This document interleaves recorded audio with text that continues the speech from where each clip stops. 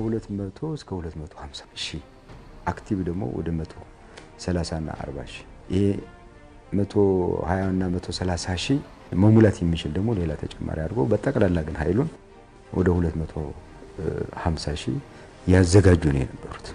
ህወሓት በዋነኛነት ዓላማው ስትራቴጂው የኢትዮጵያ ሀገረ መንግስትን መበተን ነው። ጥቅምት 24 የተነሳ የተቀሰቀሰውን ጦርነት ጥቅምት 24 እንዳልተጀመረ የመንግስትን አቅም የድርጅቱን አቅም አቀናጅቶ ቀድሞ ጦርነት እንዳወጀ የጦርነቱ ግብ ምን እንደሚሆን ስልቶቹ ምን እንደሚሆኑ ስትራቴጂዎቹ ምን እንደሚሆኑ ቀድሞ አዘጋጅቶ እንደጨረሰና ብዙ ነገሮች በዚህ ሀገር ውስጥ ሲተገበሩ የነበሩ ነገሮች በዚህ ሰነድ ውስጥ የተካተቱና የታሰበባቸው የታቀዱ መሆናቸውን የሚያሳይ ነው። የትግራይ ህዝብ ዋና ጠላትና ስጋት ራሱ TPLF ነው። ህወሓት የሚለው የህገ መንግስታዊ ስርዓቱን ለመናድ ህገ መንግስታዊ መብት ሊኖረኝ ይገባል ብሎ የሚንቀሳቀስ አካል እና የፖለቲካ ኃይል እንደሆነ ነው የሚያሳየው። ማንኛውም ሀገር የማፍረስ ተልእኮ ያለው አካል የቆመበትን ሀገር በማፍረስ አይጠናቀቅም።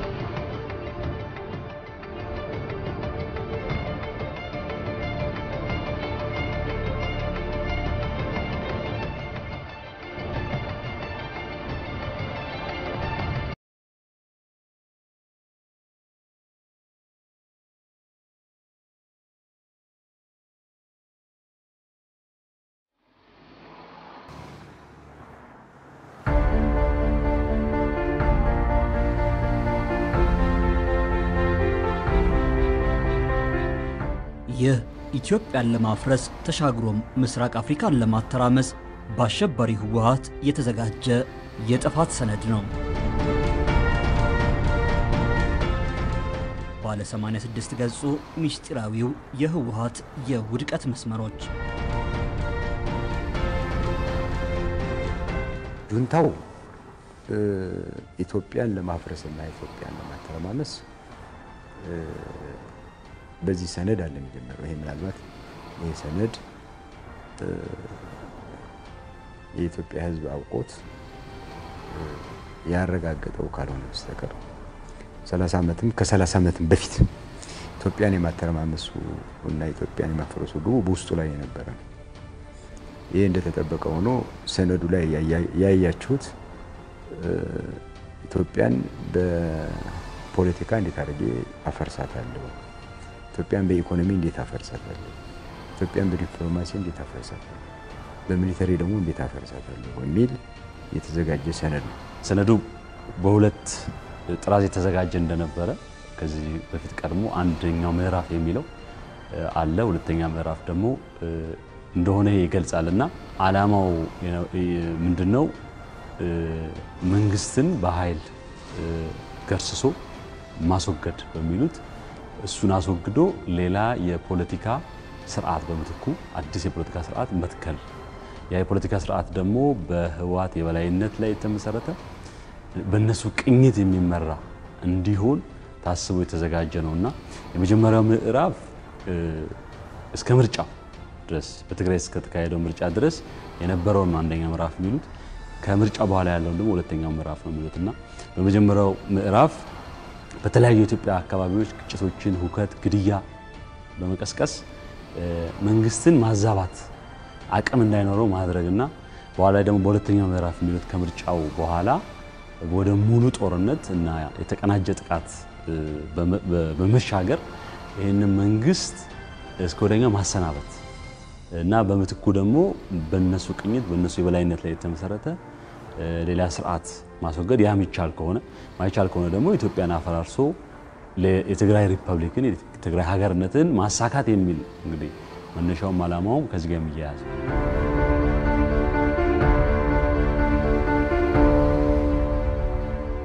በግልጽ ሁኔታ በማይሻማ ቋንቋ ይህ ሰነድ ግልጽ የሚያደርገው በቲፒኤልኤፍ እይታ በህወሓት እይታ ትግራይ የኢትዮጵያ አካል ሆና የምትቆየው ለህወሓት መሪዎች የምትመች በነሱ የምትዘወር ብቻለም በነሱ የምትመራ እና ለነሱ ጥቅም ብቻ የምትሰራ ኢትዮጵያ ከሆነች ብቻ ነው ትግራይ ኢትዮጵያ ውስጥ መቆየት አለባት ብለው የሚያስቡት። ስለዚህ ይሄ ሰነድ በዚህ ሰነድ ይሄ ግልጽ ሆኖ የወጣ ጉዳይ ነው። እንግዲህ እዚህ ላይ ዋነኛነት የህወሓት መሪዎችንና ህዝቡን ለይቶ ማየት ያስፈልጋል።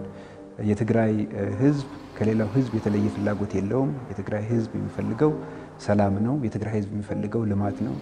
የትግራይ ህዝብ የሚፈልገው ዲሞክራሲ ነው። የትግራይ ህዝብ የሚፈልገው ቋንቋው፣ ባህሉ፣ ማንነቱ እንዲከበር ነው።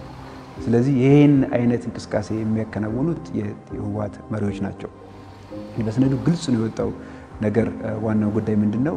በህወሓት እይታ በዚህ ሰነድ ግልጽ ነው የተቀመጠውም ኢትዮጵያን በተመለከተ ህወሓት ማስፈን የሚፈልገው ሚኒ ሪፐብሊክስ ወይም ደግሞ ክልሎች የራሳቸው ሉዓላዊ ስልጣን ኑሯቸው በመካከላቸው ግን በጣም የላላ ግንኙነት እንዲኖር ወይም ደግሞ loose የሆነ ኮንፌዴሬሽን እንዲኖር የሚፈልግ ኃይል እንደሆነ በግልጽ በሰነዱ ላይ አስቀምጧል። ይህን ዓላማ ለማራመድም ወታደራዊ ስልትንም እና ሌሎች ስልቶችንም እንደሚጠቀም በግልጽ አስቀምጧል። TPLF ኦች ትግራይ ሲሉ የራሳቸው ጥቅም ማለታቸው ነው። የራሳቸው ፖለቲካ ማለታቸው ነው። የራሳቸው ስልጣን ማለታቸው ነው። ኢትዮጵያዊ ትግራይ ሲልና እነሱ ትግራይ ሲሉ እንዲሁም የትግራይ ህዝብ ራሱን ትግራይ ብሎ ሲገልጽ በጣም የተለያየ ነው። የቲፒኤልኤፉ ትግራይ የነሱ ጥቅም ስያሜ ነው ትግራይ ብለው የሚጠሩት። ምክንያቱም ሰነዱ ላይም ሌሎች የፕሮፓጋንዳ ስራዎቹም ላይ ስናየው አብዛኛው ቦታ ላይ ትግራይ ይላል፣ ግን ለትግራይ ህዝብ ተቆርቋሪነትና የትግራይ ህዝብን ሲያስቀድም አይታይም። ስለዚህ TPLF ትግራይ ሲል ሁላችንም የምናውቀው የምንረዳው ትግራይ ማለት አለመሆኑ መረዳት አለብን። በተለይ የትግራይ ህዝብና በተለይ ደግሞ የትግራይ ወጣት ለእኛ ነው ትግራይ የሚለው ትርጉም ትክክለኛው ትርጉም የሚሰጥ ህዝቡ፣ ታሪኩ፣ ማህበረሰቡ ህወሓት ጽፎት ተዘጋጅቶበት ወደ ተግባር ያስገባው ለኢትዮጵያውያን ሞት የደገሰው ይህ የጥፋት ጥራዝ በጥብቅ እንዲያዝ በመስከረም ወር 2013 ዓ.ም የተዘጋጀ ነው። ምስጢራዊው ሰነድ ኢትዮጵያን በፖለቲካው፣ በማኅበራዊው፣ በኢኮኖሚውና በዲፕሎማሲው ውስጥ ለውስጥ ህወሓት ካዳከመ በኋላ በመጨረሻም በወታደራዊ እርምጃ የፌዴራል መንግሥትን በመደምሰስ ሀገርን የመበተን ዝርዝር ጥፋትን ያነገበ ነው። አሸባሪ ቡድን ምስጢር ብሎ እያደባ ቢቆይም በዚህ ሰነድ የተካተቱ የህወሓት ሀገር አፍራሽ የሴራ መንገዶች ግን መንግሥት አስቀድመው ተረድቶት እያከሸፋቸው የነበሩ ናቸው። TPLF ስድስት ሁነኛ ሚሳይሎች ዋና ዋና ሚሳይሎች ከባድ ተተኳሾች በዚህ ለውጥ ሂደት ላይ ተኩሷል። ከስድስቱ almost አምስቱ ወይም አራት ተኩሉ ሙሉ በሙሉ መክነዋል። አሁን የቀረው አንድ ወይም አንድ ተኩል ሚሳይል ሚሳይሎቹ እያመከን እያመከን ብልጽግና መሰረቱ እየሰፋ base ኡ እየሰፋ ሀሳቡ በብዙዎች እየተገዛ ሲሄድ ያ thinking እየሞተ እየሞተ እየጠፋ ይሄዳል። አንደኛው ለውጡ እንዳይፈጠር አስቸኳይ ጊዜ አዋጅ ማለት ለውጡ እንዳይፈጠር ጠቅላይ ሚኒስትር ኃይለማርያም resign ካደረገ በኋላ ምርጫ እንዳይካሄድ 45 ቀን ማጓተት፣ lobby ማድረግ፣ በየፓርቲ ውስጥ infiltrate ማድረግ በጣም ሰፊ የሆነ ስራ ሰርተዋል። ሰፊ ሚሳይል ተኩሰዋል። TPLF ከተነካ ምርጫው እንደዚህ ከሆነ እነሱ በሚያስቡት ካልተሄደ አገር ይፈርሳል፣ ይጠፋል። ብዙ ዘመቻና ወሬዎች ነበሩ። ያ ሚሳይል መከነ፣ የአመራር ለውጥ ተካሄደ፣ ሊያስቆሙት አልቻሉ። ከዛ በኋላ በማግስቱ ማፈናቀል፣ ግድያ፣ ኮንትሮባንድ ያው security ውን ሁሉም ስለያዙት በከፍተኛ ደረጃ የነበረውን እስረኛ መፍታት፣ ተቃዋሚዎች ማምጣት ትክክል አይደለም የሚለውን proof ለማድረግ ሁከት ፈጠሩ። መጀመሪያ በእኛ መድረኮች ላይ እንዴት ይጠራሉ የሚል አደገኛ የሆነ ክርክር ያነሱ ነበረ። ከዛ በኋላ ግን በመረበሽ ለምን ተጠሩ? TPLF ትክክል ነበር dictator መሆኑ፣ ማፈኑ፣ ማሰሩ፣ መግደሉ የሚል ለማረጋገጥና ትክክለኛው አቅጣጫ ማባረር እንጂ እነሱን ማቀፍ አይደለም የሚሉ ለማሳየት በጣም በርካታ የሆኑ አሳዛኝና challenging ጊዜዎች አሳልፈናል። ብዙ ሰዎች አጥተናል። በአመራሮቻችን፣ በህዝባችን፣ በመፈናቀል፣ በግድያ ንብረት መውደም ብዙ አሰቃቂ ነገሮች ነው ያሳለፈው። change ኡ በጣም ብዙ የተፈተነበትን ነገር አድርገዋል። ሁለተኛው መድፍ ሚሳይላቸው ነበር። እሱም ከጊዜ ብዛት የማድረግ አቅማቸው እየጠፋ እየቀነሰ እየቀነሰ ያው እንደምታዩት የመከነ እና ፍላጎታቸውን ያላሳካ ሚሳኤል ነበር። ሶስተኛውና ቁልፉ ሚሳኤል ውህደቱን ማደናቀፍ ነው። ውህደት እንዳይከናወን TPLF ያላደረጉት ሩጫ የለም። ውይይት ሳንጨርስ ረግጦ መውጣትን ጨምሮ በጣም በርካታ ነገሮች የእነሱ ቡችሎችም አሁን TPLF መውጣቱ ነው ችግር ያመጣው ይላሉ። አራተኛው ሚሳኤል ከውህደቱ በኋላ አይን ላይን ሊተያዩ ከማይችሉ ፓርቲዎች ጋር ጠላት አሸባሪ ያሏቸውን ፓርቲዎች ሰብስበው የፌዴራሊስት ኃይል ብለው የፓርላማ seat ወስነው በተለየ dimension ደግሞ ብልጽግናን አህዳዊ ብለው ጥለው ወደ ስልጣን የሚመለሱበትን እንደው ጠቅላላ እንደ ድሮም ባይሆን በተወሰነ ደረጃ influence ኣቸው የሚያድግበትን ነገር ለመፍጠር ፌዴራሊስት የሚባል ኃይል 30 40 ፓርቲ ሰብስበው ገንዘብ አፍስሰው ጊዜ አባክነው ሰው መድበው በጣም በርካታ ስራ ሰርተዋል።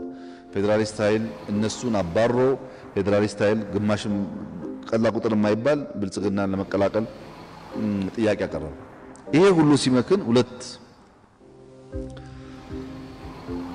የቀሩ ሚሳኤሎች ናቸው እንደ አጀንዳ TPLF የያዛቸው። አንደኛው የጨረቃ ምርጫ ነው። ይህም የጨረቃ ምርጫ foundation የለውም። legitimacy ለመውሰድ በግርግር በማታ የሚደረግ የጨረቃ ምርጫ ልክ እንደዛው በሆነ ጊዜ ፈራሽ ጠፊ መሰረት የሌለው ማለት ነው። አሁን እነሱ ምርጫ ሲካሄድ ሁከት ይነሳል፣ ሽብር ይነሳል ብለው ነው ሚሊሻ ስልጠና፣ ቋንጣ ዝግጅት እና በሶ ዝግጅት ላይ የነበሩት። እኛ በውጊያ ሳይሆን በተለየ dimension ይሄን የጨረቃ ምርጫ ሀገራዊ አጀንዳ ማድረግ አትችሉም። ለኛ irrelevant ነው። ፌዴሬሽን ምክር ቤት እስከፈቀደላችሁ ጊዜ ድረስ TPLF ላይ ነገር ቢቆይ ለኛ አጀንዳ መሆን አይችልም እና ስላራከስን አሁን ደግሞ የመገንጠል ጥያቄ የሚያቀነቅኑ ኃይሎች ከውስጥ እየወጡ ነው።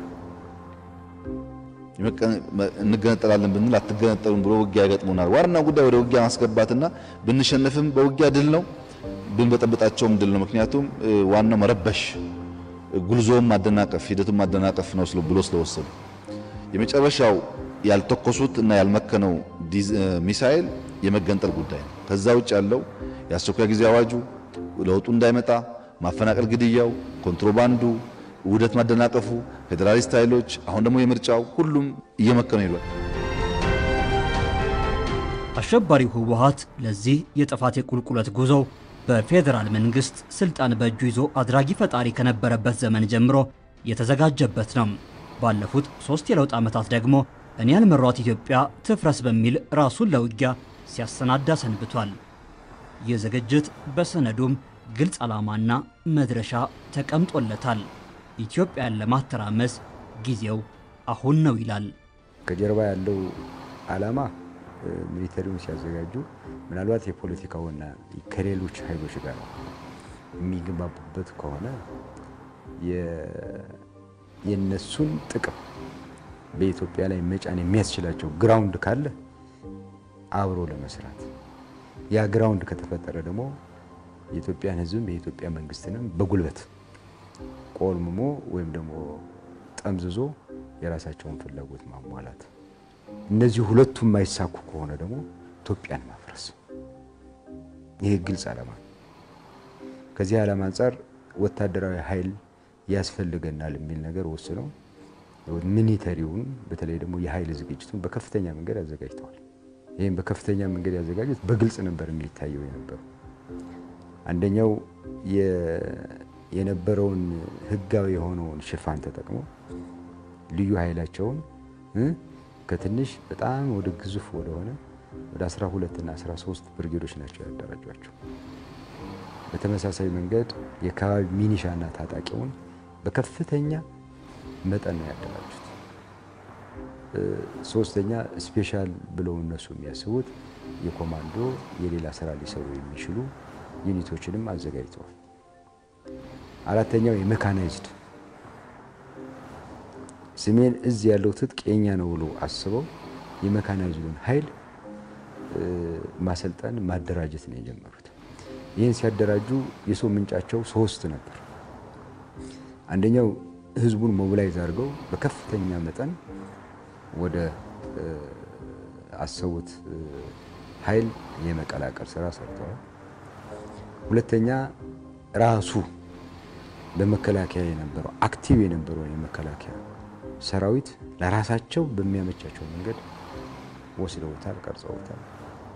ሶስተኛው እንደገና ደግሞ ፌዴራል ላይ የነበረው የፖሊስ ኃይል ይሄ በሁለት መንገድ ከፍለው ፌዴራል ፖሊስ የነበረውንና መከላከያ የነበረውን ኃይል አውቶማቲካሊ ለአሁኑ ስራቸው የሚጠቅማቸውን መውሰድ በተለያየ ምክንያት አድርገው ማውጣት፣ ሁለተኛ ደግሞ ለቀጣይ መነሻ ይሆነናል የሚለውን ደግሞ እዛው ባለበት የእነሱ ኃይልና አቅም እንዲሆን አድርገው አደራጅተውታል። ይሄ በሙሉ አደረጃጀት ሲታይ ግን የአንድ የመከላከያ ሰራዊት ቅርጽ የሚያስይዝ አደረጃጀት ነው የነበረው። ቅርጹ እያልን ያለ ነው ምንድነው?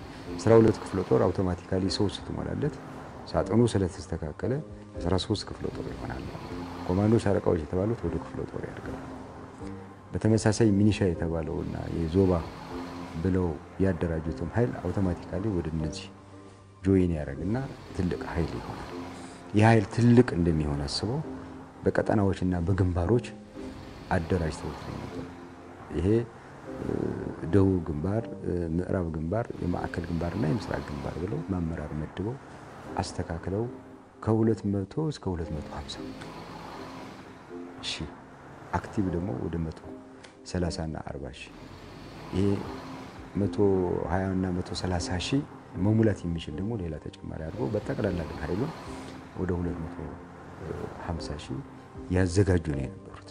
ሁለተኛ ይህ ኃይል ግን መሰብሰብ ብቻ አልነበረም። የመደበኛን ቅርጽ አስይዘው ስኪል እንዲኖረው ችሎታ እንዲኖረው ስልጠና እንዲኖረው በተገቢው መንገድ ሰጥተውታል። ማሰልጠኛ ጣቢያዎች ነበሯቸው። በነዛ ማሰልጠኛ ጣቢያዎች ሁሉንም አይነት የብረት ስልጠና፣ የስልት ስልጠና የምንለው የጋራ የቅንጅት ስልጠና፣ የሎጂስቲክስና የድጋፍ ስልጠና ችሎታ አስይዘውላቸው ነው የሄዱት።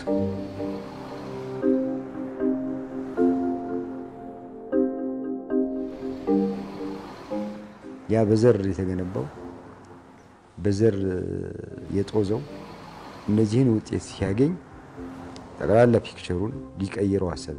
በስነ ልቦና ጦርነት አንደኛው ይኸው ብለናችሁ ነበር፣ መብረቃዊ የሆነ ኦፕሬሽን አድርገን በእጃችን ያዘ። ይኸው ብለናችሁ ነበረ፣ ጦርነት የሚባል ነገር ለእኛ የባህላዊ ጨዋታ ነው ብለናችሁ ነበረ። ይኸው አፍሪካኖችም አርፋችሁ ተቀመጡ። ስለዚህ ፌዴራል መንግስት ወደደም ጠላም የእኛን ፍላጎት ይቀበላል። የእኛን ፍላጎት የማይቀበል ከሆነ ግን እናንበረክከዋለን። ኢትዮጵያ የምትባል ነገር ገደል ትግባሉ። በዚህ መንገድ ነው የተከተሉት ስትራቴጂ።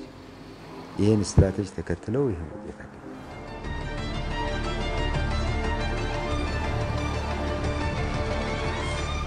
ሶስተኛው point ይህን እንዴት አድርገው manage እንደሚያደርጉት ሎጂስቲክሱ እንዴት እንደሚችሉትም መልሰዋል። ለምሳሌ የትጥቅ የብረት የሚባል ነገር ከድሮ ጀምሮ ሲያከማቹት የነበረውን አስታጥቀውታል። ሁለተኛ መከላከያ እያለ መከላከያ store ላይ በብዛት ተተኳሽና ብረት አውጥተዋል፣ አውጥተው ቀብረዋል። የሚያስታጥቁትን አስታጥቀዋል። ለረጅም ጊዜ ጦርነቱ ሊቆይ እንደሚችል አስበውም ተዘጋጅተዋል። ሶስተኛው የኮሚኒኬሽን ነው። ለውጊያ የሚያስፈልገው የኮሚኒኬሽን መከላከያ ጋር የነበረውን ዘርፈዋል። በራሳቸው ሰው አማካኝነት አድርገው ህጋዊ የሚመስል ነገር ቅርጽ አስይዘው ይሄ ኮሚኒኬሽን ወስደዋል። ይሄ ኮሚኒኬሽን ሊሞላው ሊመልሰው የማይችለውን ደግሞ ከውጭ አስመጥተዋል። በጅቡቲ አስመጥተዋል፣ በየመን አስመጥተዋል፣ በሱዳን አስመጥተዋል። ይህን ሁሉ ታጥቀዋል ማለት ነው። ይህን ሊሰራ የሚያስችል የሎጂስቲክስ ቲም ፈጥረዋል። ይህ ኃይል ደግሞ እንዲሰራ አራተኛው ስነ ልቦናውን ማዘጋጀት ነበረባቸው። የሰበሰቡትን ስነ ልቦና ለምንድን ነው የሚዋጋው፣ ለምንድን ነው የሚሄደው የሚለው ደግሞ የትግራይ ህዝብ ተገድሏል፣ የትግራይ ህዝብ ብቻውን ቀርቷል፣ የትግራይ ህዝብ የፌዴራል መንግስትና የኢትዮጵያ ህዝብ ሊጨፈጭፍህ ነው፣ ሊያርድህ ነው የሚል የዘር ፈንጅ እንዲተከል አድርገውበታል።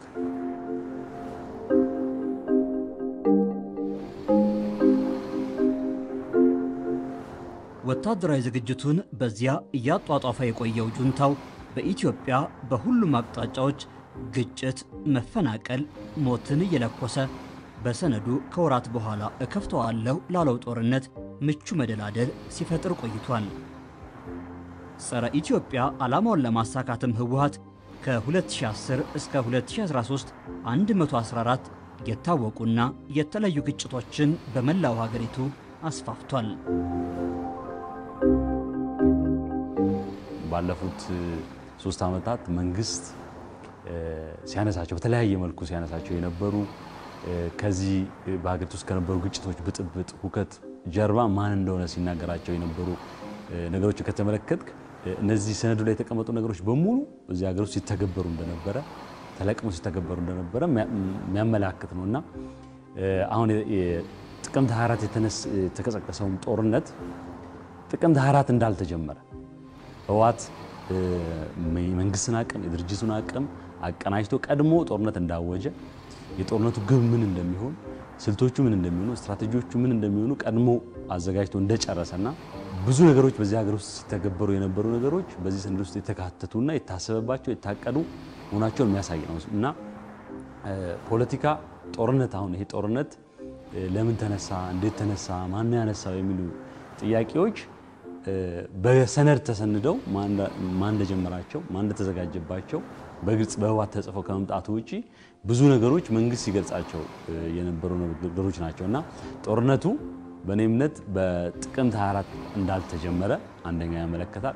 ሁለተኛ ከዚህ በፊት በተለያዩ መንገዶች በተቀናጀ ሁከት፣ ብጥብጥ፣ ግጭት በመቀስቀስ የመንግስትን አቅም ማዳከም የመጀመሪያው ምዕራፍ ብለው የሚገልጹት መዳረሻ እንደነበረ በኋላ ላይ ግን በዚህ ያዳከምነውን መንግስት ገፋ ብናደርገው ይወድቃል ብለው የቀሰቀሱት ጦርነት ጥቅምት አራት የሰሜን ዕዝን በማጥቃት የተጀመረው የዛ የመጨረሻ ምዕራፍ ነው። የሀገር ውስጥና የውጭ ኃይሎችን በማሰባሰብ መንግስትን ለመጣል ህወሓት ሰነዱን ካዘጋጀ በኋላ ሶስት ወር እንደሚበቃውም አምኗል። በየአካባቢው የለኮሳቸው ግጭቶች መልካቸውን እየለወጡ ቀጥለዋል።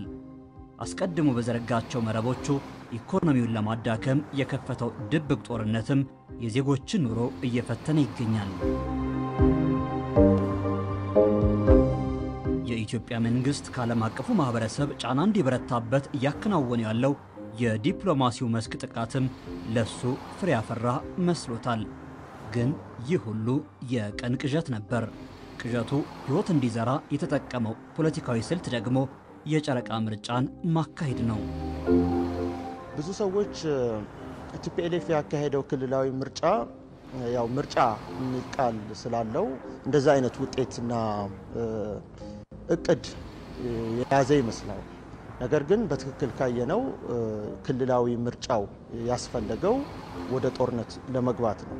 ለምንድን ነው ያንን ምርጫ እንደ የጦርነት pretext አድርጎ መውሰድ የፈለገው ካለ ለራሱ ቅቡል መንግስት እንደሆነ ቅቡል የክልል መንግስት እንደሆነ በዛ side ደግሞ ፌዴራል መንግስት ተቀባይነት የሌለው ምክንያቱ በኮሮና ምክንያት ምርጫ ስለተራዘመ ምርጫ ያላካሄደ በህዝብ ያልተመረጠ መንግስት ነው። እኔ ግን በህዝብ የተመረጥኩ መንግስት ነኝ በማለት የአሰላለፍ ሚዛን የኃይል ሚዛኑን ለመቀየርና ከዛ ደግሞ በዛ የሚያበቃም ሳይሆን ወደ ጦርነት በመግባት የፌዴራል መንግስትን ለማናጋት የለውጡ ኃይሉን ለመበተን አገር ለማፍረስ የራሱ የሆነ ልዕልና ብቻ አስከብሮ ለመቀጠል አስቦ ነበረ የክልል ምርጫው ያካሄደው። ስለዚህ ምርጫው አፍራሽ ነበረ። ሪፎርሙ ሲጀመር አካባቢም በፓርቲ ውስጥ ኢህአዴግ ወደ ብልጽግና ከመሸጋገሩ በፊት በነበሩ ጊዜያትም ምርጫ ከማካሄዳቸው በፊትም በእያንዳንዱ አካባቢ ላይ ቀውስ ከመፍጠር አንጻር በነበረ ሚናም ዓላማው ወደዛ የማምራት ፍላጎት እንደነበረ በተግባር ቀድሞ ሲገለጽ የነበረ ነው። ይሄኛው ለየት የሚያደርገው ግጭቱን ለመፍጠር በሰሜን አካባቢ የነበረውን ጦር ለማጥቃት የመጨረሻው ምዕራፍ ላይ በነበረበት ጊዜ ጥቃቱ ከተፈጸመ በኋላ በእነሱ እምነት በአጭር ጊዜ እንደሚጠናቀቅ አስበው የገቡበት ምናልባትም በሶስት ወር ጊዜ ውስጥ መንግስትን ይመጣል። ከዛም ተያይዞ የጎረቤት ሀገርም እንደ አንዳንዶቹ ከሆነ አስመራንም በሶስት ወር ይመጣል። አዲስ አበባንም በሶስት ወር የመቆጣጠርና የማፍረስ ከዛ በኋላ በራየኔ በሚሉት አምሳያ ሊፈጠር የሚችል ቅርጽ ያለው ሂደት የመፍጠር ዓላማ ነበር የነበረውና በድርጊት አስቀድሞ የተገለጸ ነው። በሰነድ ለማንኛውም ሰው አንብበው ሊረዳው በሚችል መንገድ መሆኑ ነው ልዩ የሚያደርገው ካልሆነ በስተቀረ ከመንግስት የተሰወረ አልነበረም። ይሄ ድርጊት ወደዛ የማምራት ፍላጎት እንደነበረው በዚህ ሰነድ እንደተቀመጠው አሸባሪ ህወሓት ስልጣን በእጁ እያለ የፈጠራቸውን ተቋማት በመጠቀምም ፍላጎቱን ለማሳካት አቅዷል። ግን ይህም ከመንግስት እይታ ያልተሰወረና የከሸፈ ነው። ጠቅላይ ሚኒስትር ዶክተር አብይ አህመድ በ2013 መጀመሪያ ላይ ባሳተሙት የመደመር መንገድ መጽሐፋቸው ከገጽ 142 እስከ 155 ይህንን ሐሳብ አስፍረዋል። የህወሓት ስርዓት የተቀመጠበትን መደላድል በአራት እግር ወንበር ልንመስለው እንችላለን ይላሉ ጠቅላይ ሚኒስትሩ በመጽሐፋቸው። እግር አንድ የህግ ማስከበር ተቋማት ናቸው። በእነዚህ ተቋማት ህወሓት ከለውጡ በፊት ከላይ እስከታች የራሱን ሰዎች አስቀምጦ ማፈኛ ማሰሪያና መቅጫ አድርጓቸዋል። እግር ሁለት የፓርቲ ስርዓት ነው። ህወሓት ለግቡ ስኬት ሲል እሱ የሚመራው የፓርቲ ስርዓት ከፋፋይነቱ ከፓርቲው አልፎ ኢትዮጵያ የቆመችበትን መዋቅር ያናጋ ነበር። ፋይናንስ ሦስተኛው እግር ነው። በዚህ አቅጣጫ ቡድኑ የሀገሪቱን ሀብት ሲዘርፍ ሲያዘርፍና ሲያባክን ዓመታትን ለመዝለቅ በራሱ ልክ ተቋማትን ፈጥሮ ሲገለገልባቸው ቆይቷል። አራተኛው እግር ማኅበራዊ መሠረቶች ናቸው። ሚዲያና ሃይማኖት ደግሞ በዚህ ውስጥ ዋነኞቹ ናቸው። በእነዚህ አራት እግሮች አማካይነት ህወሓት ኢትዮጵያን እንደ ግል ንብረቱ ሊጠቀምባት ያቀደው እኩይ ዕቅድ ሁሉ በመንግሥት ከሽፏል። በህወሓት ምስጢራዊ ሰነድ የተቀመጡ ዓላማዎችም ገና ተሟልተው ሳይተገበሩ መክሸፋቸው በመጽሐፍ ታትሞ ወጥቷል። ህወሓት ኢኮኖሚውን በተመለከተ ወደ ሶስት ማዕዘን ያለው ስትራቴጂ ይከተል ነበር። በአንድ በኩል የኢኮኖሚ እንቅስቃሴን ለማቀላጠፍ ከባንክ እና በተለይ ከንግድ ባንክ እና ከውጭ አበዳሪዎች ብድር የመውሰድ ስትራቴጂ አንደኛው የትሪያንግሉ አንደኛው አካል ነው። ስለዚህ ይህን ለማድረግ የመንግስት ወጪዎችን ፋይናንስ ለማድረግ ባለፉት ዓመታት መንግስት ብዙ ብድር ከሀገር ውስጥ ከኢትዮጵያ ንግድ ባንክ፣ ከውጭ ሀገር ደግሞ ብዙ ብድር በተለይ ከቻይና ወስዷል። ስለዚህ አንደኛው የህወሓት ስትራቴጂ እሱ ነበር። ሁለተኛ እነዚህ ራሳቸው ሰዎች ብድሩ የመንግስት ፕሮጀክቶችን ለማስፈጸም ነው በሚል የመንግስት የልማት ተቋማትን ብድሩን የሚወስዱ አድርጓቸዋል። ሁለተኛው የትሪያንግሉ አካል እሱ ነው። ሶስተኛ ፕሮጀክቶቹን የሚፈጽሙ አካላት አንድም የመንግስት የልማት ተቋማት፣ ሌሎች የመንግስት ልማት ተቋማት፣ አንድም ደግሞ ከህወሓት መሪዎች ጋር በትብብር የሚሰሩ ባለሀብቶችን የማሰራት ስራ ሲከተል ነበር። እነዚህ ሶስት ትሪያንግል ናቸው አሁን ያለውን የሸሪኮች ግንኙነት አሁን ያለውን የኢኮኖሚ ውድቀት እና የፌዴራል መንግስቱ ሊያስተካክል የሞከረውን የኢኮኖሚ ውድቀት ያስከተሉት። ለምሳሌ ከንግድ ባንክ እና ከውጭ አበዳሪዎች ለሆነ ፕሮጀክት በሚል ለምሳሌ ለያዩ fertilizer ሊሆን ይችላል። ለ fertilizer ፋብሪካ ተብሎ ብድር ይወሰዳል። ብድሩን የሚወስዱ ሰዎች ብድሩን የሚሰጡ ሰዎች እና ፕሮጀክቱን የሚፈጽሙ ሰዎች እርስ በርሳቸው የሚታወቁ ሰዎች ናቸው።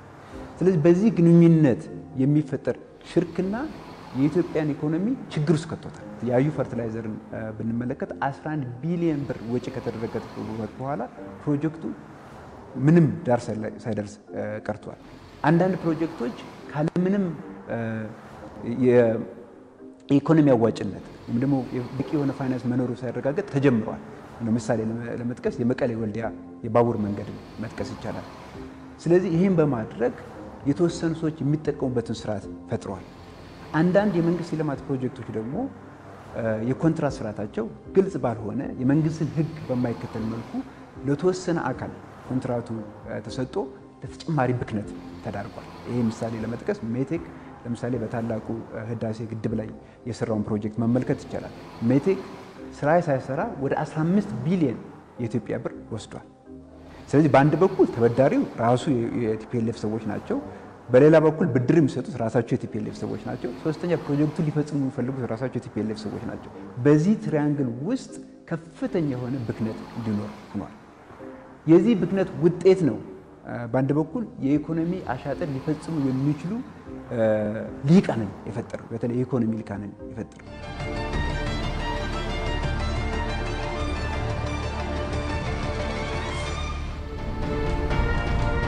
ህገወጥ ምርጫ ካካሄደ በኋላ አሸባሪ ህወሓት በሰነዱ በግልጽ እንዳስቀመጠው ራሱን ብቸኛና እውነተኛ የፖለቲካ ተዋናይ አድርጎ ቆጥሯል። አሁን እዚህ ጋር የቀደመ ዘፈኑን ብቅ አድርጓል። ብሔር ብሔረሰቦች በሚል ሽፋን የግሉን ፍላጎት ለማሳካት ተነስቷል። የማስፈጸሚያ ስልቱም በአንድ በኩል የሽግግርና የባላደራ መንግሥት ይቋቋም የሚሉ ተላላኪዎቹን ፈጥሮ ሕዝብን ማደናገር፣ በሌላ ወገን ደግሞ የህወሓት አምሳያ የሆኑ የብሔር ድርጅቶችን በየአካባቢው መስርቶ ሀገርን ማተራመስ ነው። በየክልሉ በየብሔሩ የሚያደራጃቸው ኃይሎች መጠቀም የሚፈልገው የእሱ ተሸክመው አራት ኪሎ እንዲያስገቡ እሱን ተሸክመው የፌዴራል ስልጣን እንዲይዝ የሚያደርጋቸው ጀሌዎች እንጂ በህዝቡንም ፍላጎት አያውቁም፣ ህዝቡንም አይወክሉም። በ83 እንዳደረገው አሁንም በእነሱ ተሸካሚነት ስልጣን መያዝ ነው የሚያስበው። ፌዴራሊስት ኃይሎችን በለው ሌሎችም የሽብር ቡድኖች ጋር የሚያደርገው ጥምረት በሙሉ ኢትዮጵያን ለማፍረስ አንድ ካስቻለው እነሱን ለመጠቀም እንደ መጠቀሚያ መሳሪያ ነው እንጂ የሚያያቸው የእውነተኛ የህዝብ ወኪሎች ናቸው ብሎም አያስበው። የእሱ ፍላጎት ማሳኪያ መሳሪያዎች አድርጎ ነው የሚያስባል። ባለፈው በ1983 በነበረው ሽግግር የሚያደርገው ያን ነው። አሁንም ማድረግ የሚፈልገው እነዚህ ተወካዮች ናቸው ብሔር ብሔረሰቦች ብሎ ከእነሱ ጋር ሸንጎ አስቀምጦ እንደገና ሌላ ህገ መንግስት የነበረውን ህገ መንግስት የማስቀጠል ሀሳብ ራሱ የለም። ሌላ ህገ መንግስት ጽፎ አሁንም ኢትዮጵያን ለሚቀጥሉት 30 40 ዓመታት ኢኮኖሚውን እየቦጠቦጠ በደህንነት እያስፈራራ አፍኖ ለመኖር ነው ያሰበው። አንዱ አማራጭ ነው። ያም አይሆን ከሆነ ግን ኢትዮጵያን በታተናለሁ አላማውና ዝም ብለህ ካየኸው ግን በኢትዮጵያ ፍርስራሽ ላይ እነሱ ጥቅም የሚያሳካበት የፖለቲካ ስርዓት ማዋቀር ነው አላማቸው። እነዚህ ሰዎች የሚጠሏትን ሀገር ነው ሲመሩ የነበረው የምንለውም ለዚህ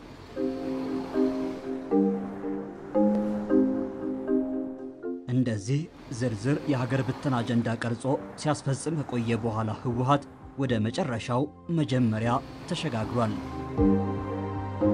ሰሜን ዕዝን በማጥቃት የሀገር መከላከያ ሰራዊትን በመበተን ኢትዮጵያን ማፈራረስ ዓላማው አድርጎም ጥቅምት 24 2013 ዓ.ም ይፋዊ ጦርነት ጀምሯል። ለዓመታት አቅዶበት በብዙም ተዘጋጅቶበት ህወሓት የከፈተው ጦርነት ግን በእውነትና ፍትሐዊነት ድል ተመቷል። መንግስት መጀመሪያ የወሰደው ነገር ምን አይነት የጦርነት ባህሪ ነው ያለው? መጀመሪያ ስትራቴጂውን አስቀምጦ እንዴት እንመክት፣ እንዴት እንምታው ከማለቱ በፊት የጦርነቱ ባህሪ ምንድን ነው? ይሄ የጦርነት ባህሪ የጁንታው ቡድን በታሪኩ ተነስቶ ሲሰራው የመጣውን ለኢትዮጵያ ግፍ እና አሁን መጨረሻ ላይ የሰራው ስራ ከማየት መቀመጥ ያለበትም አሁን ኢትዮጵያ አለኝ የምትለው መከላከያ ሰራዊት ነው ይሄ ብሔራዊ ሀብት ነው። በዚህ ላይ በፍጹም መደራደር አይቻልም። እሱን መንካት ማለት ኢትዮጵያን መንካት ማለት ነው። ስለዚህ በሱ ላይ የመጨረሻውን ጥቃት ሲፈጽም ምን ማለት ነው? የጦርነቱ ባህሪስ ምን አይነት ባህሪ ይኖረዋል? የጦርነቱ ባህሪ ኢትዮጵያን የማፍረስ ነው። ስለዚህ እኛ መከተል ያለብን ስትራቴጂ ኢትዮጵያን ከብተና ማዳን ነው። ኢትዮጵያን መከላከል አለብን። ይሄ ነው የጦርነቱ ባህሪ። የጦርነቱ ፍትሐዊነትም የሚመነጨው ይሄ ነው። የጦርነቱም ዓላማ ነው። እስካሁን ያለው ከጁንታው ጋር ያለ ጦርነት ይሄ ነው ባህሪ። ኢትዮጵያን ማፍረስ፣ ኢትዮጵያን መበተን። አይ ኢትዮጵያ አገር ሆና የምትቀጥል ትልቅ አገር ትልቅ ሕዝብ ያለባት ጥንታዊ አገር ስለሆነ ኢትዮጵያ አትፈርስም ነው ጦርነቱ ይሄ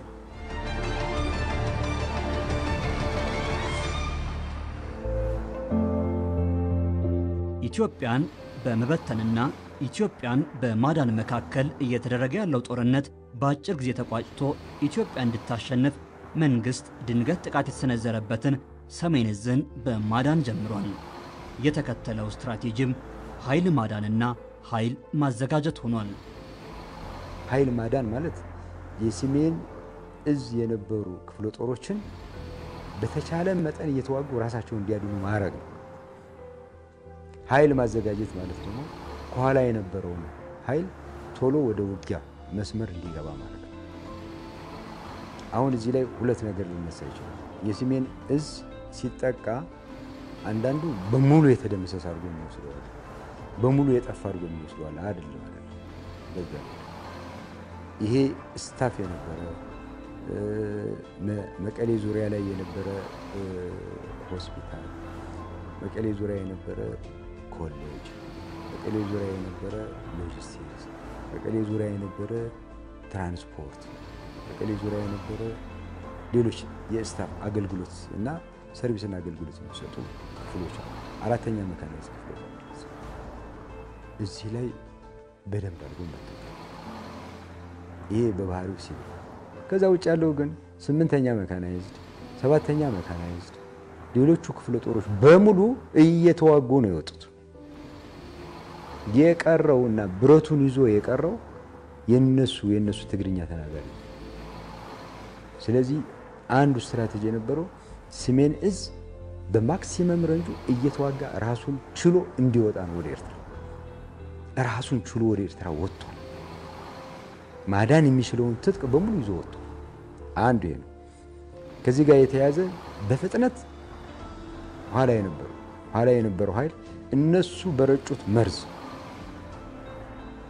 እነሱ ባስቀመጡት ስትራቴጂ ታስታውሱ ከሆነ በየመስመሩና በየመንገዱ ላይ ግጭት ስለነበር ያን ግጭት ለማብረድ የሄደ ነው የነበረው። እሱ በፍጥነት ተሰብስቦ ወደ ውጊያ መስመር መግባት አንዱ ስትራቴጂ ማዳን አለብን። ሁለተኛ እንደገና ደግሞ ኃይላችን ወደ ውጊያ መስመር ማስገባት ነበረብን። የተቀመጠው ስትራቴጂ ሁለተኛው ስትራቴጂ ከኢትዮጵያን ማፍረስና ከኢትዮጵያ ጋር ስለተጣላ ኮሪደር ይፈልግ ነበር። ያን ኮሪደር በሚዘጋ ውጊያውን ማካሄድ አለብን። ኮሪደር በማይሰጥ ለዛ እድል በማይፈቅድ መንገድ ውጊያው መካሄድ አለብን። ሁለተኛው ስትራቴጂ ሶስተኛው ስትራቴጂ የተሻለ የውጊያ አቅም አዳዲስ አቅሞችንና በፍጥነት ደግሞ ሎጂስቲክሳችን ማደራጀት አለብን። ቅድም እንዳልኩት ትጥቃችን እዛ ብረታችን እዛ ይሄን ማስተካከል አለብን። ኮሚኒኬሽን ላይ ችግር አለ፣ ይሄን ማስተካከል አለብን። በፍጥነት ደግሞ እንደ ድሮን አይነቱን አዳዲስ አቅሞችን መጨመር መቻል አለብን። ሶስተኛው ስትራቴጂ እሱ በፍጥነት አዳዲስ አቅሞችና አዳዲስ ሎጂስቲኮችን ማስተካከል አለብን። ሶስተኛው መንግስት ያስቀመጠው ስትራቴጂ። አራተኛው ስትራቴጂ በብርሃን ፍጥነት ያለምንም ክፍተት በማይሰጥ መንገድ ውጊያው መቀጠል አለብን። ይሄ በጣም ትልቅ ውሳኔ ነው። ከሁሉም ውሳኔ ይሄ ነው። ይሄ አቅጣጫ ብዙውን ነገር ጠይቷል። በፍጥነት መዋጋት መቻል አለብን። ተጀመረ የአራት ቀንና የአምስት ቀን gap ተባለ። ይሄም ኃይል እስከሚጠጋ ድረስ በዚህ መንገድ በፍጥነት መሄድ አለብን። በፍጥነት መዋጋት አለብን። ዋነኛ ማዕከሉን ደግሞ center ኡ ላይ ማድረግ አለብን። መቀሌን ማድረግ መቻል አለብን።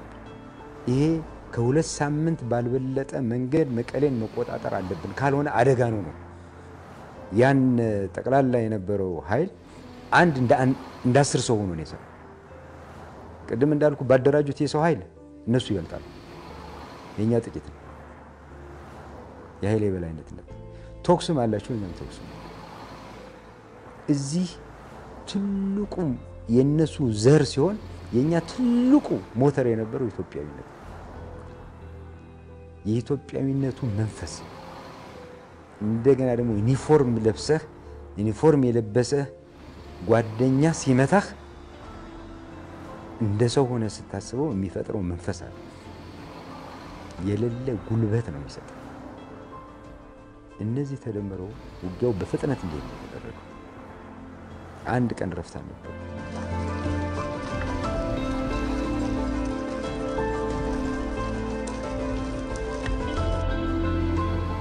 በዚህ ጦርነት ህወሓት ዓላማው ከንቱ ሆኖ ቀርቷል። ሽንፈቱን ተከናንቦም ዋሻ ለዋሻ ለመርመስመስ ተገዷል። ያኔ ሽንፈቱን አምኖ መቀበል ከጦርነት ይልቅም ሰላምን ማስቀደም ያልፈጠረበት ህወሓት ብሸነፍ ይህንን አደርጋለሁ ብሎ በሰነዱ ያስቀመጠውን ስትራቴጂ መተግበር ጀምሯል። ንጹሐንን ለጦርነት መማገድ። የትግራይ ህዝብ ዋና ጠላትና ስጋት ራሱ TPLF ነው። አሁን የተቆሰቆሰው ጦርነትም በ TPLF ቆስቋሽነት የተፈጠረ ነው። የትግራይ ህዝብም የደረሰበት አደጋ በ TPLF ጋባዥነት የመጡ አደጋዎች ናቸው። ምክንያቱም TPLF ጦርነትን በዚህ ደረጃ ባያጋግል፣ ባያስተዋውቅ፣ መጨረሻ ላይ ደግሞ ራሱ ባይለኩስ ኖሮ የትግራይ ህዝብ ወደዚህ ችግርም አይገባም ነበረ። ስለዚህ ጦርነት ያቀደ በሰነድ ጭምር ያቀደ እንዲሁም ያስፈጸመ ወደ አሁን ያለንበት ፖለቲካዊም ኢኮኖሚያዊም ማህበራዊም ምስቅልቅል እንድንገባ በተለይ ደግሞ የትግራይ ህዝብ የችግሩ ገፈት ቀማሽ እንዲሆን የቻለው TPLF ራሱን ለማዳን ሲጥር ከተጠያቂነት ሲያመልጥ የትግራይ ህዝብ ጉያ ስር ተወሽቆ ጦርነት በመቀስቀስ የትግራይ ህዝብ ከዚህ ጦርነት የባሰው ውድመት እንዲደርስበት ያደረገው ራሱ TPLF ነው። ስለዚህ TPLF ምን ያክል ለትግራይ ህዝብ የማይቆረቆር ብቻ ሳይሆን የትግራይ ህዝብ ጠላት እንደሆነ አሳይቷል። ህዝቡን አነሳስተው ጦርነት ውስጥ ማግደው ማስጨረስ እንደሆነ አላማቸው በግልጽ ይሄ ጦርነት ሳይጀመር ከአንድ ዓመት በፊት ጦርነቱን እንጀምራለን፣ ጦርነቱ ሲጀመር ህዝባዊ ጦርነት ይሆናል ብለው አስቀምጠዋልና አሁን የምናያቸው ነገሮች በሙሉ ህፃናትን ወደ ጦርነት መማገድ የዚህ ስትራቴጂ የዚህ ስልት መገለጫ ነው እንጂ አሁን በደረሰው ሰብአዊ መብት ጥሰት ተናዶ ወደዚህ የገባ ኃይል አይደለም። አስቦበት አልሞ ህፃናትን፣ አዋቂዎችን፣ ሴቶችን ሳይቀር ወደ ጦርነት ማግዶ የራሱን ስልጣን ጥቅም ማሳካት የሚፈልግ ኃይል በእብሪት የቀሰቀሰው ጦርነት መሆኑም ያሳይ ነው።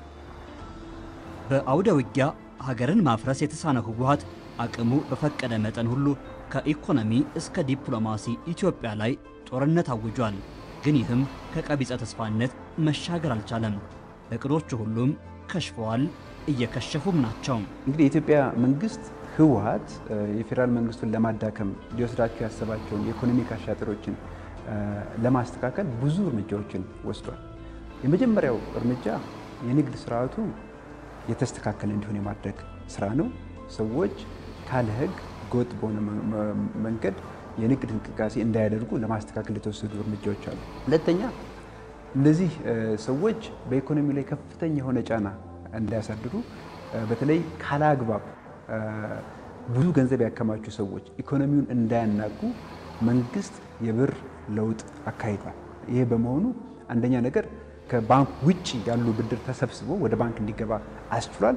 በዛውም የ financial sector ተደራሽነት እንዲኖር አስችሏል። ወደ ስምንት ሚሊዮን የሚደርሱ አዳዲስ አካውንቶች እንዲኖሩ አስችሏል። ከሁሉ በላይ ግን ትልቁ ውጤት በህገወጥ መልኩ ሲዘዋወር የነበረ ገንዘብ ለመሰብሰብ አስችሏል።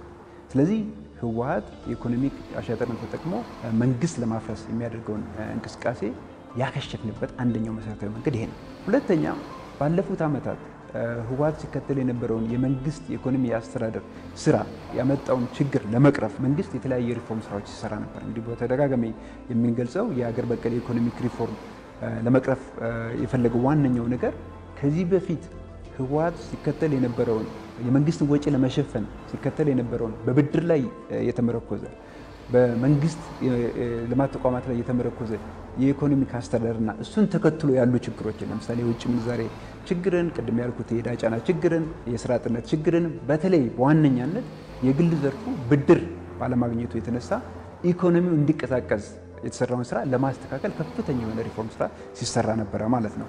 ስለዚህ እነዚህ ስራዎች ህወሓት የኢኮኖሚክ አሻጥርን ተጠቅሞ የፌዴራል መንግስቱን ለማፍረስ መንግስትን ለመበተን ሀገር መንግስቱን ለመበተን የሚያደርገው ጥረት በአመዛኙ እንዲከሽፍ ሆኗል ማለት ነው።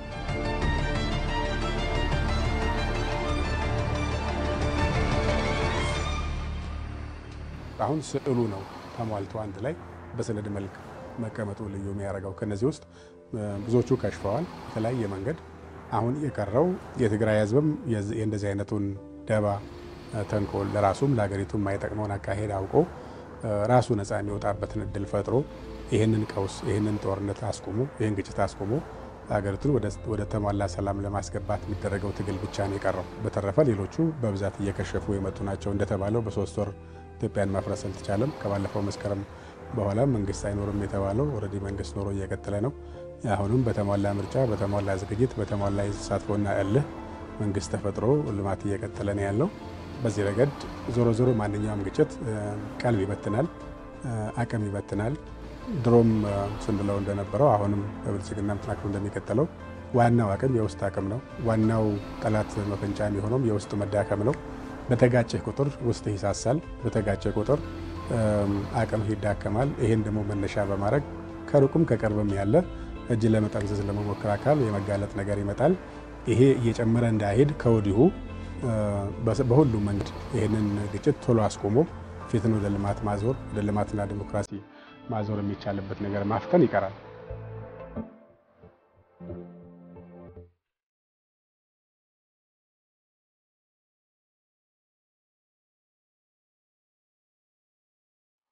መንግስትን የማዳከም ሁከት፣ ብጥብጥ በመቀስቀስ መንግስትን ከህዝብ መነጠል ማማራር ላይ መሰረት ያደረገ ነው የነበራቸው። ይህን በብዙ መልኩ ግጭቶች በተለያዩ ቦታዎች እየቀሰቀሱ ህዝቡ መንግስት ላይ እንዲነሳ ነበር ሀሳባቸው። በተወሰነ መልኩ ብዙ የህዝብ ምሬትን፣ ግጭትን፣ መፈናቀልን፣ ግድያን ፈጥሯል። በዚህ ህዝቡ ተበሳጭቷል። ነገር ግን ህዝብና መንግስት በጋራ ሆነው እነዚህን በየጊዜው የሚከሰቱ ሴራዎችን እያመከኑ እስከ ምርጫ ደርሰናል ማለት ነው። የእነሱ ሀሳብ የነበረው ከምርጫ በፊት ይሄ ምርጫ ስድስተኛው ሀገር አቀፍ ምርጫ ከመካሄዱ በፊት መንግስትን ጥለን ሌላ የፖለቲካ ስርዓት በምትኩ እናደርጋለን የሚል ነበረ። ይሄ አልሆነም። በችግሮች ቢከሰቱ መፈናቀሎች፣ ግድያዎች፣ የተለያዩ የሚያሳምሙ ችግሮች ቢከሰቱም ህዝብና መንግስት ተረጋግተው በየቦታው እነዚህን ችግሮች እየፈቱ አልፈናቸው ምርጫውን አካሂደን እዚህ ደርሰናል እና ከፓርቲ ጀምሮ የፓርቲ ውህደት ከማደናቀፍ ጀምሮ በየቦታው ህዝብና መንግስትን ለመነጠል ያደረጉት ጥረት በሙሉ በነሱ ባስቀመጡት መንገድ አልሄደም። በጦርነት ድል ከኔ በቀር ለማንም አይሆንም በሚል አጉል እብሪት ወደ ውጊያ የገባው ህወሓት በጀግኖች የኢትዮጵያ ልጆች እንዳልነበር ሆኗል። በጦርነቱ የስበት ማዕከል የነበረውን መቀሌን እንኳ ከሁለት ሳምንት በላይ ማስጠበቅ ተስኖት ተበትኗል።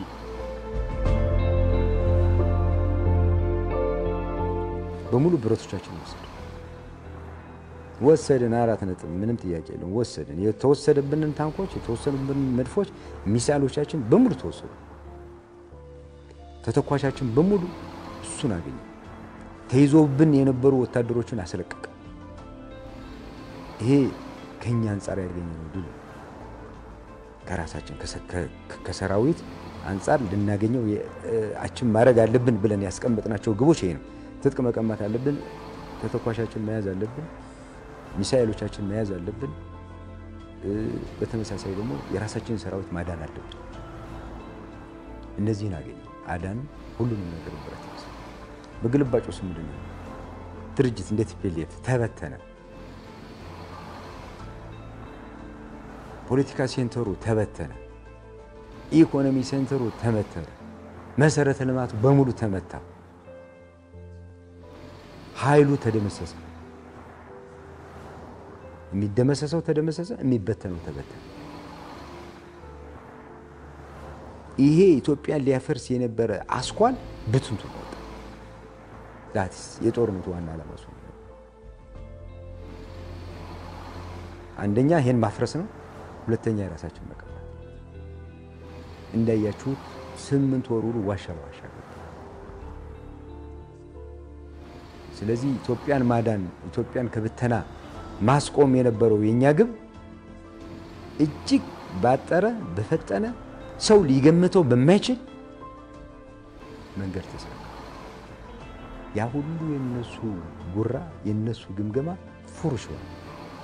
ሊገምቱት አይችሉም። ምክንያቱም የተጨማለቀ የተዛባ ግምገማ ነው ያላቸው። የሰው ልጅ ሊገመግመው የማይችል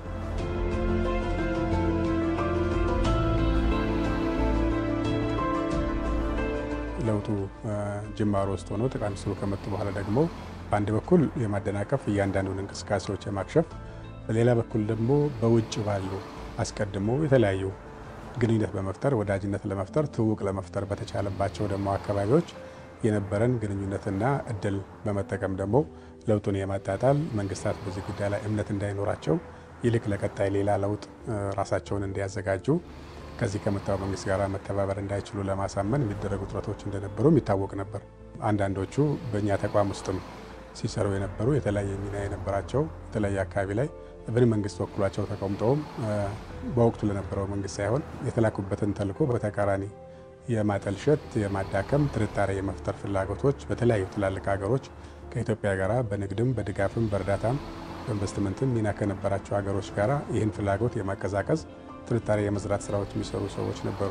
እንደ መደበኛ ስራቸው ሆነውም ከዚህ ከመንግስት ከወጡ በኋላ በቀጠናውም በዙሪያችን ባሉ ሀገሮች ዘንድም በአፍሪካ የተለያዩ ሀገሮችና በአውሮፓና አሜሪካም ተመሳሳይ አስቀድሞ የቆየ ወዳጅነትን ታሳቢ በማድረግ በዚህ ለውጥ ላይ ያለ እምነት እንዲቀንስ ትብብሮች እንዲዳከሙና ስለዚህም ለውጡ ተንገራግጮ መቆም የሚችልበት እድል እንዲፈጠር የሚያደርጉ ጥረቶች እንደነበሩ ይታወቅ ነበር ማለት ነው። ኢትዮጵያን ሁል ጊዜ የሚወጋት አሁን ባለው ዘመን የእኛ የራሳችን ሰው የእኛ የራሳችን ሰው የሌላ ኃይል ይዞ እየመጣ ነው እየተዋገነ ያ ከውጭ የሚመጣውማ በግልጽ ቢመጣ ምንም ችግር የለው። እየወጋን ያለው የራሳችን የራሳችን ሰው ደግሞ በተለያየ አስተሳሰብና በተለያየ ምክንያት እየሄደ ነው ያለው። የቱንም አስተሳሰብ ኢትዮጵያ ውስጥ አሁን ይያዝ፣ የትኛውን እምነት ይከተል፣ የትኛውን ፖለቲካ ይከተል አያገባም። ኢትዮጵያ መንካት ግን ከዛ አይደለም የምንጀምረው፣ ከራሱ ነው የምንጀምረው። የራሳችን ቤት ቆሻሻ ካላጸዳን ኢትዮጵያን ማቆም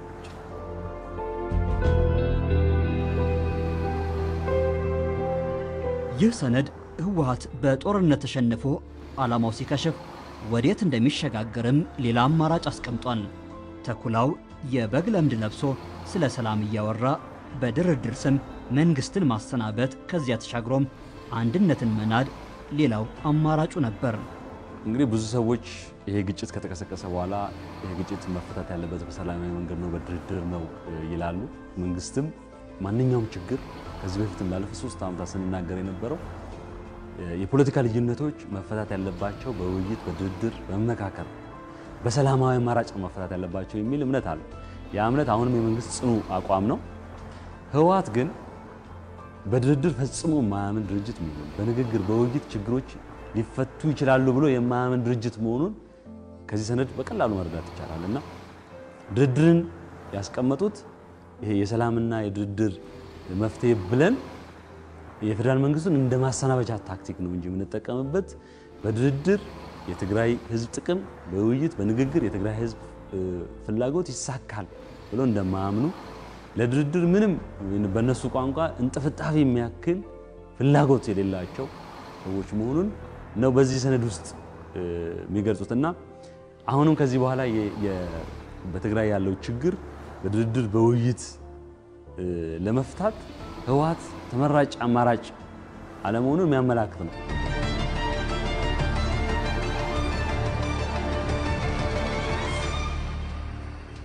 ቲፒኤልኤፍ ከተመኛቸው አብዛኛዎቹ ነገሮች በሰነድ ቢያስቀምጠውም በሰነድ ከማስቀመጡ በፊት ያደረገውም በአብዛኛው እየከሸፈ የመጣ መሆኑን እያየን ያለ ነው። ይህም የሚከሽፍ ነው የሚሆነው። ግጭቱም ያልቃል፣ ህዝቡም በተገቢው ኢትዮጵያዊነት አሸንፎ ይወጣል፣ ልማቱም ይቀጥላል። ከሩቁም ከቅርብም ትዳከም የሆነ ኢትዮጵያ ብለው ያቆበቀቡትም በእግራችን መቆም ስንጀምር ተመልሰው ወዳጅነታቸውን አውጀው የእድገታችን ተቋዳሽ ተሳታፊ ነን ብለው ትሩፋቱንም ምስጋናውንም ባለቤትነቱንም ለመሻማት የሚመጣም ሰው እየበዛ መምጣቱ አይቀርም። ኢትዮጵያ በበርካታ ዘመናት እንደዚህ ፈተናዎች አልፋ ታውቃለች። ያልገደለህ ነገር ሁሉ ያጠነክራል እንደሚባለው ፈተናዎች ይበልጥ አብቅተውት ይወጣሉ። አሁን ከዚህም የምናየው አንዱ ዋናው ከሁሉም ነገር በላይ ከሸፈ ሊባል የሚችለው ኢትዮጵያን የማዳከምና ኢትዮጵያዊነትን የማፈረሱ ሀሳብ አሁን ከሽፏል። በዚህ ግጭት ውስጥ ዋጋ ከፍለህም ኢኮኖሚህን ጎተህም የዜጎች ሕይወት ተጎሳቅሎም ኢትዮጵያዊነት የሚባል መንፈስ ግን ጎልቶ የወጣበት ነው ያለው። ዋናው ደግሞ ካፒታላችን ይሄ ነው። እዚህ ላይ እየገነባን ከሄድን ሁሉም እቅዶች ሰነዱ ላይ ያሉትም በሰነድ ሳይሰፍሩ ሲፈጸሙ የነበሩ ደባዎችም ከሽፈው ኢትዮጵያዊነታችንም አንድነታችንም የጋራ አቅማችንም ይበልጥ የሚደረጅበት ሁኔታ ግን ተፈጥሯል ብሎ መውሰድ ይቻላል። የአሸባሪ ህወሓት የጥፋት ድግስ ለኢትዮጵያ ብቻ አይደለም። በሰነዱ በማያሻማ መንገድ እንደተብራራው ህወሓት በአፍሪካ ቀንድ ሀገራት መካከል ያለ ፖለቲካዊ ልዩነቶችን በመጠቀም ቀጠናውን ለማተራመስም ቆርጦ ተነስቷል። ማንኛውም ሀገር የማፍረስ ተልእኮ ያለው አካል የቆመበትን ሀገር በማፍረስ አይጠናቀቅም። ማንኛውም ሀገር የማፍረስ ከክፋት የሚመነጭ ከመሰባሰብ ከመተጋገዝ ሳይሆን ከመጠፋፋትና ከመፋለስ እይታ ላይ ቆሞ እንቅስቃሴ የሚያደርግ አካል የበቀለበትን ሀገር ብቻ በመጉዳት አይጠናቀቅም። የበቀለበትን ሀገር ለማፍረስ ሲያቅድ በዙሪያ ያሉ ሀገሮችን ማሳተፉ አይቀርም። እቅዱም የነበረው እሱ ነው። በሱዳን በኩል እድሎች ለማግኘት ለማፍረስ፣ በሶማሌ በኩል ተጨማሪ ለመውሰድ፣ በጅቡቲ በኩል ያንኑ ለማድረግ ሌሎች የአፍሪካ ሀገሮችን ለማሳሳት ስለዚህም ኢጋድንም የማወቅ ኢትዮጵያ ዙሪያ ያሉ ሀገሮችንም ኢትዮጵያን ከማገዝ ይልቅ ኢትዮጵያን ለማፍረስ በሚደረገው ጥረት ላይ የሚያበረክቱ አስተዋጽኦ ከመተንተን ነው የሚጀምረው። በዚህ ረገድ በአካባቢው ጥርጣሬ እንዲሰፍን ሌሎች ሀገሮችም ኢትዮጵያ ብቻ ሳይሆን በዙሪያ ያሉ ሀገሮችም እርስ በርሳቸው ወደ መታወክ እንዲገቡ፣ ወደ መዛባት እንዲገቡ በዚህ ምክንያት ዙሪያው ሲፈርስ እነሱ ወደ ፈልጉበት ለመዋኘት የሚያስችላቸው እድል የመፍጠር ፍላጎት ነው። ይሄ ውስጥም የተጀመረው ነው። በኢትዮጵያን ውስጥ መቃቃር፣ መታኮስ፣ መፋለስ ሲጀመር ትኩረትህ ይዛባል። በዚህ ምክንያት በስንጥቁ ለመዋኘት እድል ታገኛለህ። ይሄው ነው በዙሪያውን ባሉ ሀገሮች የሚወሰደው። በኢትዮጵያና በጎረቤቶቿ ደግሞ መካከል ሲፈጠር የእነዚህ አይነት መዛባትን በመፍጠር በመካከሉ ለመዋኘት የሚያስችል በርካታ የጥፋት እድሎችን ለማግኘት የሚያስችል እድል ለመፍጠር ነው የምትሞክረውና እቅዱ ከባህሪ ነው የሚመነጨው። እቅዱ ከዓላማ ነው የሚመነጨው። ዓላማቸውን ለማሳካት ደግሞ የሚቻለው ኢትዮጵያ መዛባት አለባት። ያኔ ነው የኔ የምንለውን ጥቅም እናገኛለን ብለው የጻፉት። እውነታው እሱ ይሆናል ወይ ሌላ ጉዳይ ነው። ዙሪያህን እሳት አንድደህ ለብቻህ የገነት ሰርተህ መኖር አትችልም። እሳት ማንደድ ከጀመርክ ሁሉም ነው አብሮ የሚነደው። እሳት ማቃጠል ከጀመርክ አንተም የቆምኩበት ምድርን ጭምር ነው አብሮ የሚቃጠለው እና በዚህ ረገድ የመታወር ምልክት ነው ያለው። ኢትዮጵያ ስትዛባ እርስ በርሱ ሁሉም ሲባላ ዘን የጋራ ኃይል የሚመከተን አይኖሩም። በዚህ መንገድ አንድም እዚያ ያለውን ለመቋጠር እድል እናገኛለን፣ ሁለትም የእኛ የምንለውን ጥቅም ማክሲማይዝ እናደርጋለን፣ እናሳድጋለን የሚል ቅዠት ነው ያለው። ራሱን በአፍሪካ የሚፈራ ኃይል አድርጎ ለማውጣት የተፍጨረጨረው ህወሓት በ86 ገጹ ሚስጥራዊ ሰነድ ያሰፈረው ህልሙ ሁሉ ጉም መዝገን ሆኖበታል። ለጥፋት በለኮሰው ጦርነትም ራሱ እየተቃጠለበት ይገኛል። ብዙ የታቀደባት ብዙም የተጻፈባት ኢትዮጵያ ግን አሸንፋለች። ፈተና አጸናት እንጂ አላንበረከካትም። መከላከያ በስፋት ነው እየተጠናከረ ያለው በትጥቅ በአየር ኃይላችን፣ በ ground force ኡ፣ በሌላም ልትገምተው የማትችለው አይነት ነው እየተዘጋጀ ያለው። ሁለተኛ በሰው ኃይላችን፣ በአደረጃጀታችን፣ በውጊያ ባህሪያችን፣ በውጊያ ስልቶቻችን፣ ታክቲኮቻችን በሙሉ እንደ አዲስ ነው ማደግ ያለበት። መከላከያን ለማጠናከር ማንኛውም ኢትዮጵያዊ ክፍት ነው። መተቸት ይችላል፣ ማረም ይችላል፣ መደገፍ ይችላል። ምክንያቱም የራሱ